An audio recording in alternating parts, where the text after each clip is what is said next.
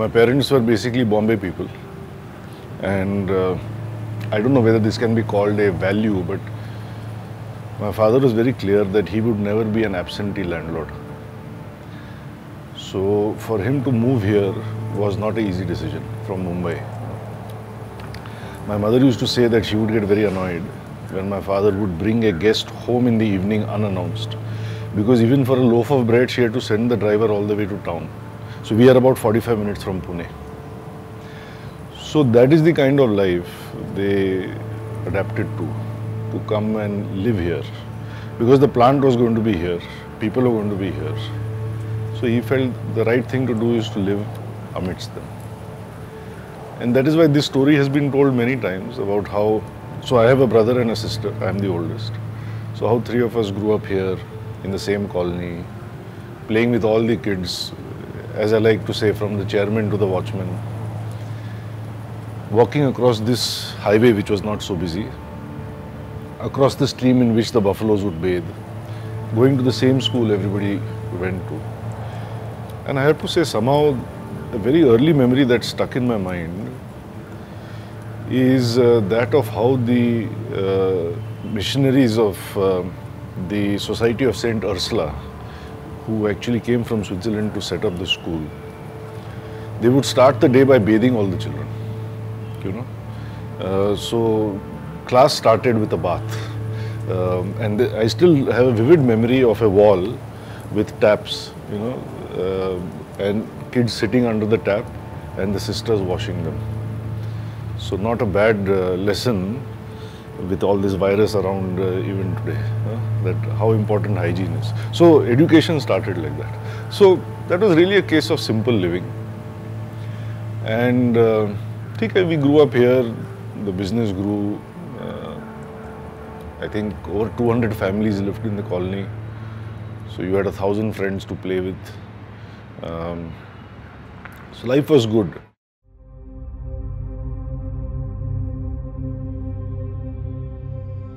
The most vivid memory of those times, I have to say, was in 1979 when the labor unrest led to a big strike or lockout. Um, and uh, you know, in those days, uh, labor management was a big part of business. Now, thankfully, things have changed. I think management and labor, uh, and anyway we don't see that division anymore uh, so clearly, have both become very progressive in the drive to be globally competitive. But at that time, I guess everybody thought company ka to 10 saal ka waiting period hai. So what's in it for me? You know, why should I work harder? Why should I do better? You know. So anyway, uh, strikes, lockouts, unrest was very common. But this time in 1979, it got out of hand i remember a lot of sporadic incidents of violence etc started taking place. I remember when my father used to be home at dinner he used to get a call from his colleagues saying it's time to declare a lockout. Uh, lockout is something that management declares. A strike is something is an option that workmen exercise. So they wanted to declare a lockout because there was a lot of violence on the shop floor. You know, scooters are made with big metal parts, and those were being flung around. Machines were being damaged, stuff like that. But my father was of the view that you know that should be a last resort because once you shut something down, then getting it started again is a long drawn process. So he was trying to resist that, strike the right balance. So I was privy to some of those conversations. And then finally, one evening, I remember, so outside uh, the bedroom that my brother and I shared, there was a little balcony. And my mother would sit there every morning, have her tea, and watch us or watch over us as we got ready to go to school. You know, she was a very middle class Maharashtrian lady. Uh, so for her, that was the normal thing to do. And so here we were in the evening actually. Uh, the sun had set. I would say it must be about 7:38. Uh, and from there at that time, you know, the trees and all were not so big. So you had a clear sight to my father's office, which I would say was perhaps 400 meters, say half a kilometer away from, from our house. So I don't know if my sister was there, but my brother and I were there, my mother was there. It was very eerie because it was very calm. You know, all this traffic was not there. You could see the stars. And you could see that the office was on fire, you know, because it had been set on fire. There's no mobile phones that day.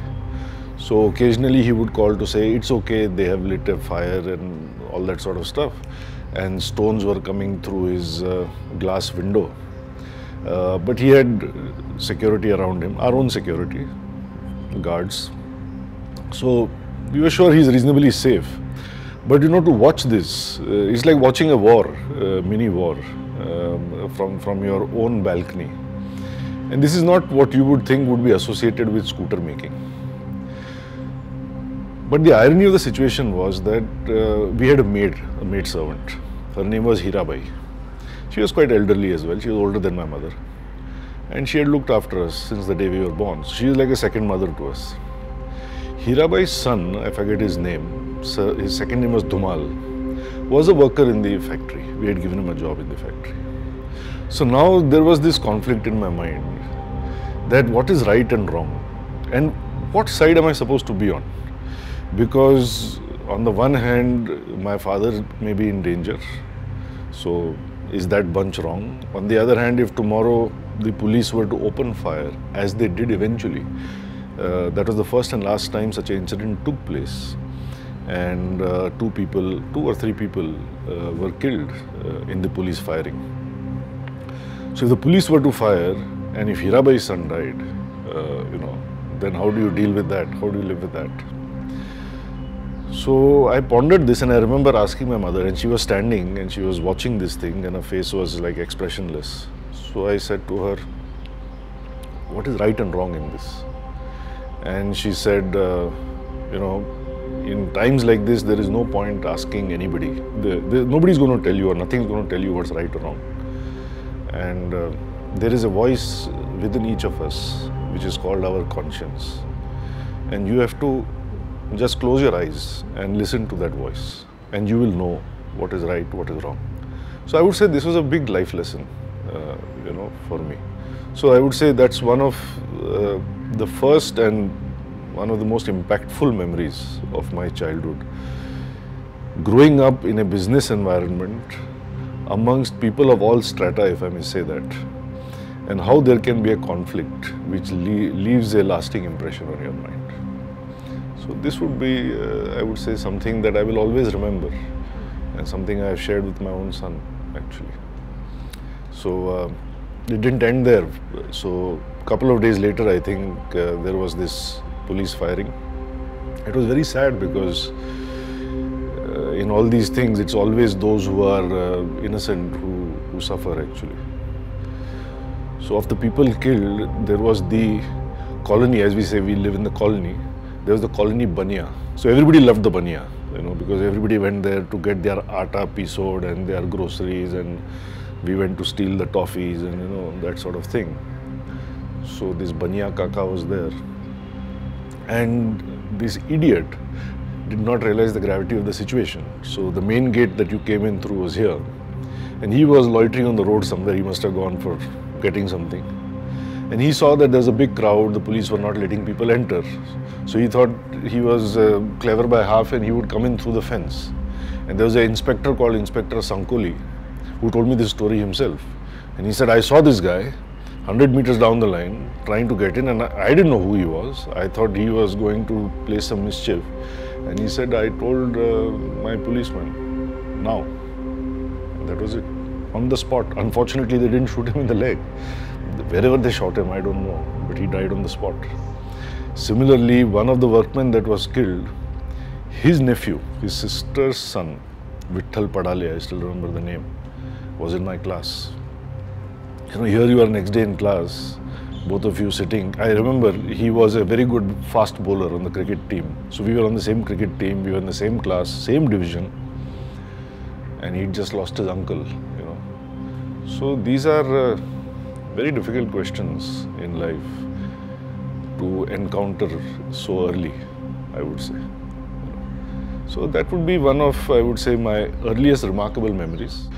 So there was nothing untoward in class, you know, nobody looked at me as if uh, I was to blame for something. Um, Everybody was at ease, from whatever I remember. Uh, eventually, like all things, this too passed. But uh, I would say it's not so important uh, who thought what or who said what. The important thing is your own experience. Now, whether you call it guilt, regret, confusion, anxiety, you know, these are not nice things to experience in the context of something uh, so grave, I would say. So, what remains with you actually is that experience. You know, that is why Maya Angelou says the world is made not of atoms uh, but stories. So, it is the stories that, that remain.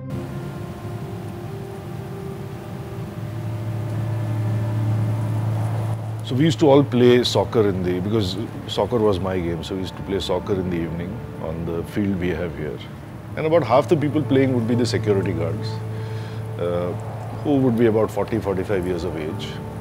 And my father always believed that because of incidents like this, he was conditioned to believe that guards must not come locally, so that they can be more neutral.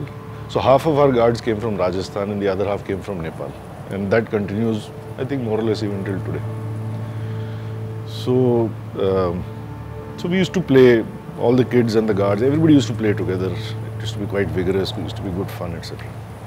So in 1987, my family decided to make a movie on my great grandfather, Jamnalal Bajaj, who was said to be the fifth son or adopted son of Gandhi.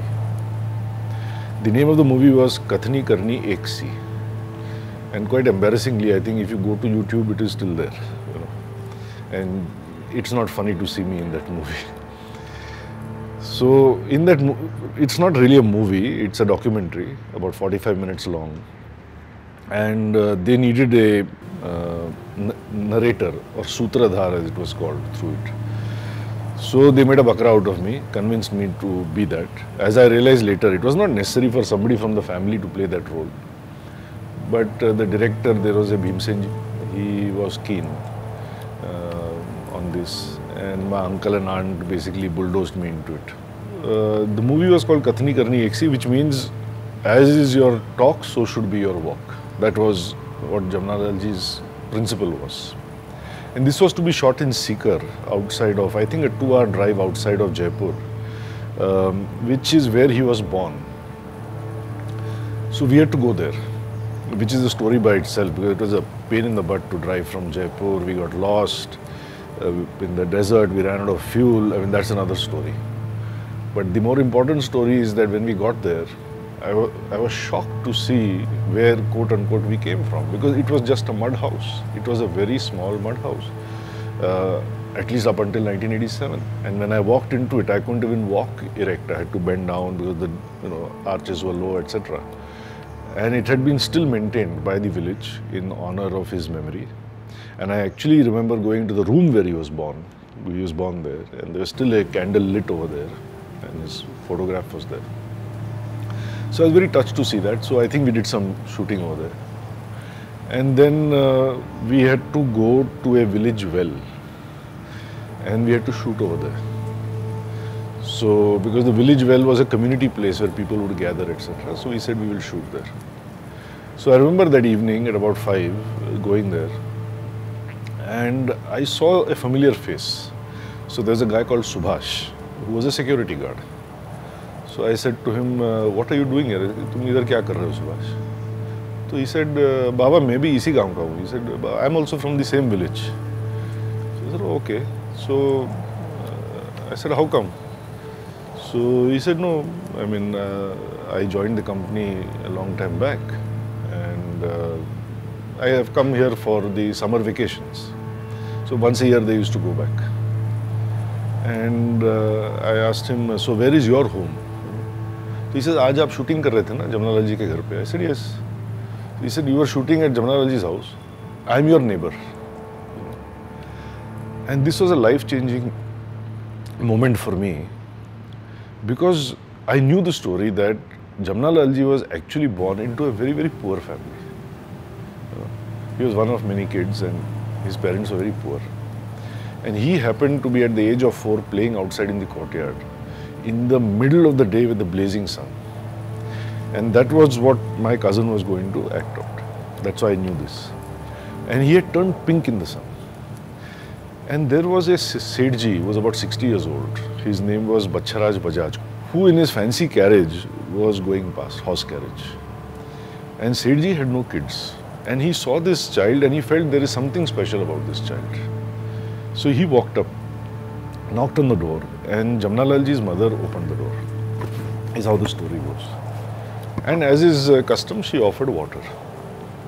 To which then um, asked her that, uh, whose child is this? And in a manner of speaking figuratively, she said, Tharoi hai in Marwadi. I believe that means it's like your child. You know, it's the way you say it with affection. He said, okay, then I am taking the child. So she was aghast. So she called her husband.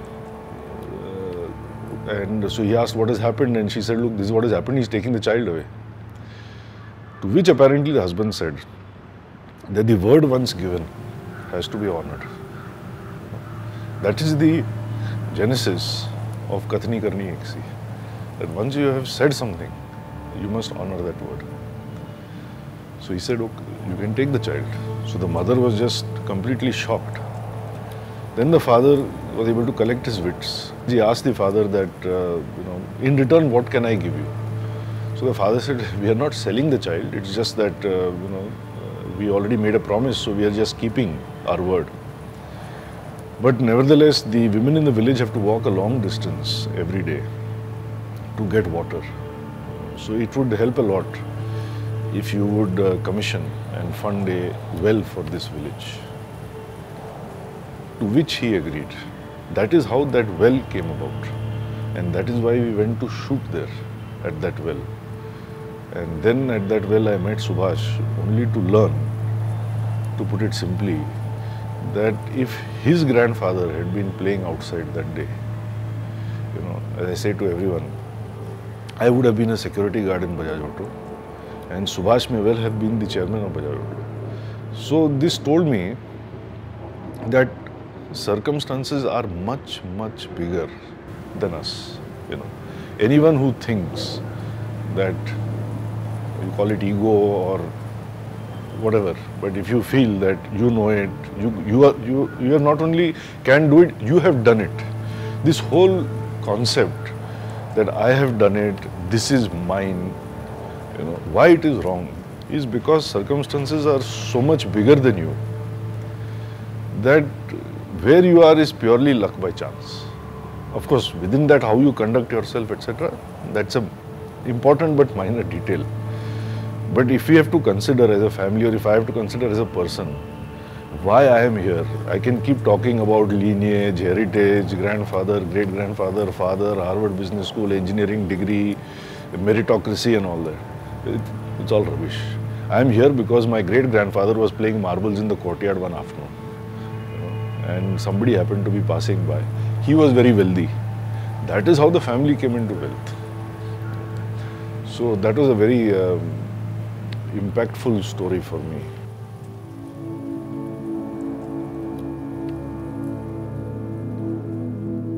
Um, but over and above experiences like this, I think it came fundamentally from my mother because she came from a, uh, as I said, from a middle class Maharashtrian family. Her father worked for the British. Um, he was uh, very accomplished. He was, I believe, the chairman of the Bombay Port Trust till he retired.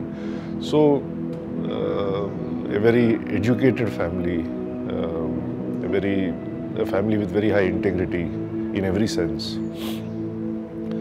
And uh, I think those values she brought into an otherwise, if I may say so, somewhat aristocratic, wealthy uh, family. So I think that was a huge uh, sobering influence on all the kids growing up. Because as is not unusual, I mean, the influence of the father is limited. Uh, it is the mother that is conditioning your thinking. So whether it was about going to the same school as everyone else, in the same uniform, in the same bus. If you miss the bus, the car doesn't take you, you walk to school. So we had a lunch break, I still remember, it used to be from 12.40 to 1.15. It was very short. And uh, half the kids used to bring their tiffin with them, but for a lot of us, our parents used to send it because school was just two minutes away.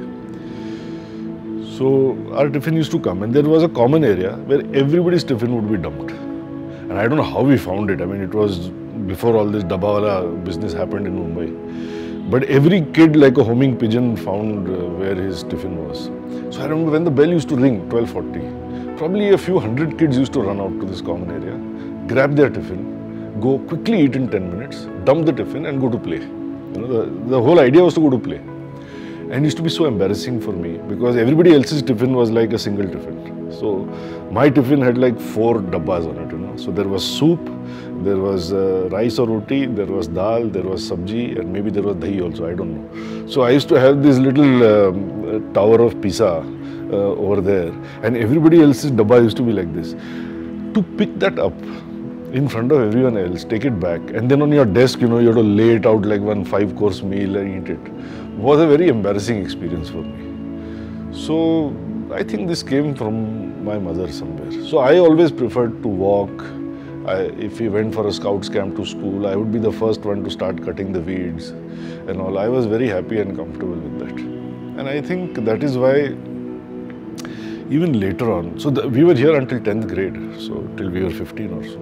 So I think that is why later on for me, whether it was to study at College of Engineering here, whether it was to live in the dorm with shared toilets in the UK for my masters, whether it was to start working on the shop floor here for the first five years with, uh, with engineers like myself.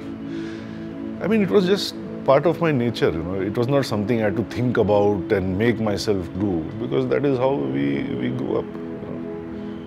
So it, it was wonderful. I mean, we climbed all the trees, we fell off the trees, we played gilli danda, uh, we ate those flowers that I don't know what they are called. We plucked the grass we, which had the little arrowhead on it and we attacked each other. So that was a great life. Yeah, wonderful.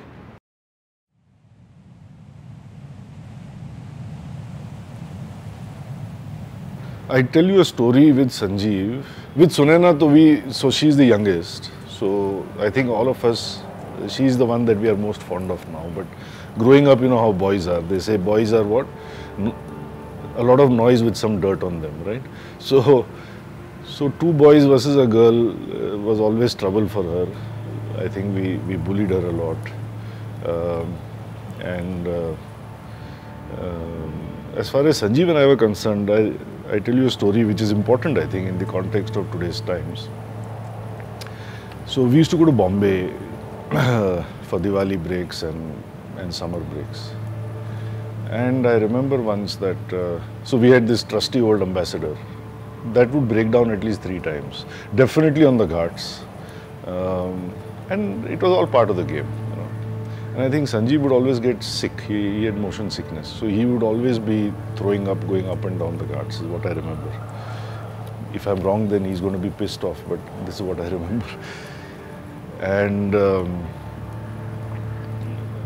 I remember once we were coming from Mumbai. Again, there's no expressway, there's no mobile phones, you know, there's none of that. We're coming from Mumbai in this ambassador, daytime, just two of us and our driver And we used to love it, you know, it used to take four hours and uh, it was a nice drive. So we were coming and uh, so I said to the driver, अरे मस्त अभी अच्छा drive है अच्छा लग रहा है something I said to and he said to me I was sitting in the front Sanjeev was sitting behind he said बाबा आपको अंदाज नहीं है मेरे ऊपर कितनी बड़ी जिम्मेदारी है you know and I never thought of it that O the two sons of Rahul Bajaj are being driven by this driver who is going to be out of touch with my parents for the next four hours, at least, till he gets here, in not the most reliable car in the world, you know, on not the safest roads of the world. It ne I never thought of it. The reason this story is remarkable is not only to convey how simply our parents brought us up. You know, I mean, today I would not, uh, my son is 21 now, but if he was like I was probably 12 at that time, would I send him off? I would not. I mean, even now when he goes out uh, in, a, in a car with a driver, you know, he gets mad at me because I'm messaging him every hour. Uh, I need to know where he is, what is he doing, is he okay, you know, that kind of thing. So I don't know whether parents were braver or simpler or the environment was such that they did not have to worry. And the reason I'm telling you this story is because the driver's name was Hussein. So, I mean, in today's times, with all this uh, stuff going around, you know, and, and I tell people that for me it was amazing because when we grew up, the driver that we spent all our time with when we were traveling was Hussein. At College of Engineering and before that at St. Vincent's in high school, 11th and 12th. My closest friend was Zohair Akolawala. Um, when my son grew up, the maid that looked after him was Hasina. And there's one more I'm forgetting. So I remember this story particularly nowadays when there is all this strife in our country uh, created about one community versus the other. That my parents didn't think twice. See, Hindu Muslim is not a new thing. It has always been there for 70 years. But my parents did not think twice before sending two of their children off with Sayyid Hussain to Pune for four hours an ambassador. So like my mother and I have always been crazy about dogs. When we had our first dog called Bunty, he was a golden retriever. And how when he was sick, and I think that was also in 79, when my father was under tremendous stress because of this labor issue. And Bunty, I remember, had gastro, so he was passing blood. And the vet had come and seen him in the evening and uh, he was only getting worse, he was sliding. And uh, he did what dogs do in such a situation. They leave the house, they go outside because they don't like to die in the house. So they go into the garden and they will usually clench their mouth, perhaps in pain, we, we don't know. So my mother called up my father. Maybe it was about 8 or 9 o'clock. He was still in office because he was very preoccupied those days. And uh, she said to him, look, you have to come now. We have to take him to the vet in Pune because he has come out, he has clenched his teeth. And we were just dog crazy completely, my mother and I. And this was a very young dog in seven, sorry, this was perhaps a couple of years later in 81. So he was just about two years old, I think, two or three years old. So he came, I mean, he was there immediately. Uh, you know, and we took the dog to Pune, took him to the vet. Long story short, the dog recovered.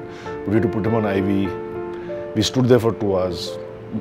My father also stood there. I remember, ah, so that was the fourth name I was forgetting, Dr. Sheikh the vet.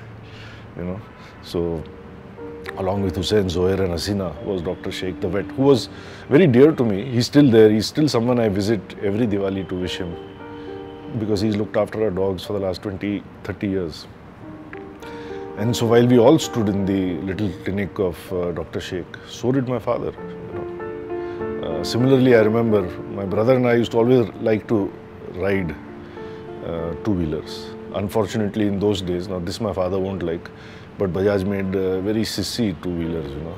Like there's this bike called the M50 that would barely move, uh, especially when guys our size sat on it. So Sanjeev and I were driving around the colony, chasing each other and uh, he fell off.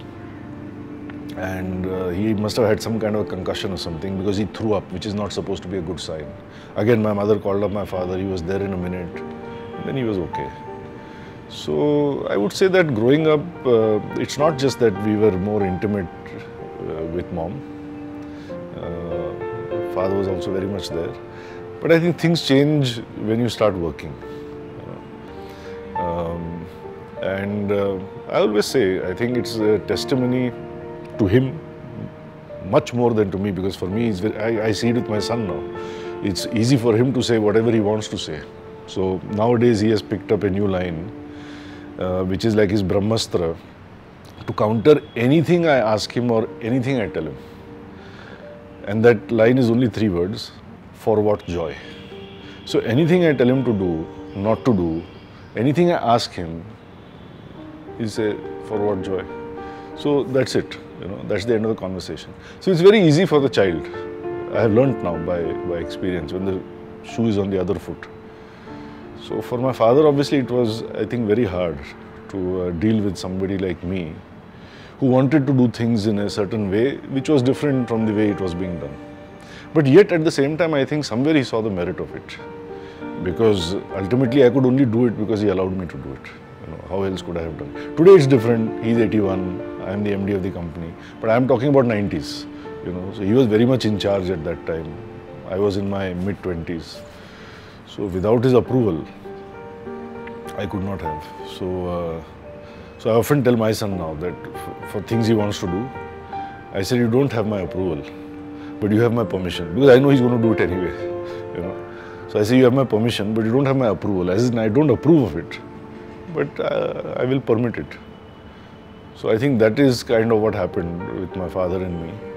So that is why I think whenever their anniversary was, I think 2011. Uh, so uh, I was not supposed to speak because I knew that uh, I will get emotional talking about my mother. So, so other people were supposed to speak. I went up to greet her on stage and she said, No, you have to say something. I think that's how it happened. So I said, No, I don't want to say something because if I say something about her, I might choke. If I say something about my father, he'll choke me.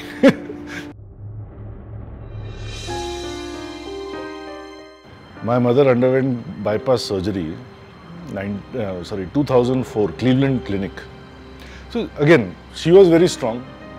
It didn't matter to her only. She went into it as if she's going to get her nails clipped or something. You know? We were all like finished.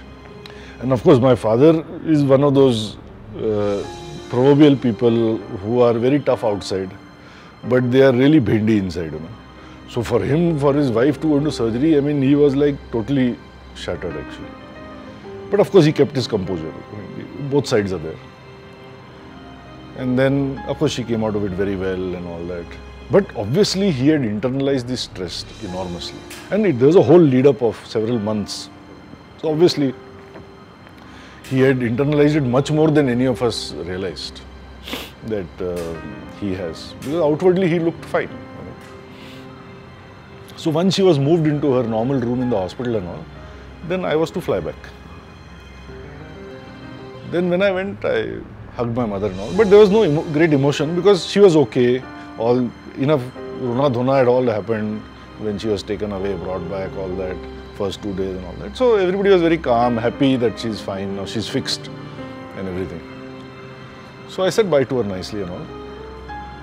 And I left her room. So my aunt was there and my father was there. So I was going. And it was 2004, father son war was at the peak, uh, business related, at the peak uh, that time. So um, I, I felt that I should say bye to him also. I should not just walk off like this. It's not like we are not talking or something that I should walk off like this. So I just turned around and I said, uh, okay, I'll go. So he came to me, he hugged me. He put his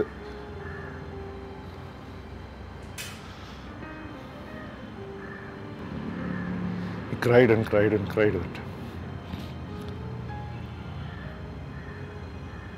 Yeah, so so that was a that was also a moment not to be forgotten, so to speak.